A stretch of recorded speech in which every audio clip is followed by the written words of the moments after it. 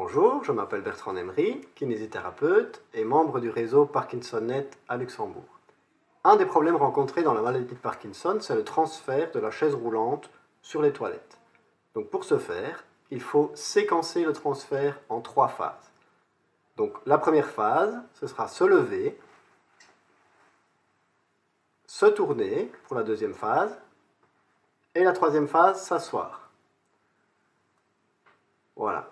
Cette séquence va devoir être travaillée par le kinésithérapeute de façon régulière pour permettre à ce que l'information soit intégrée par le patient et faciliter le transfert.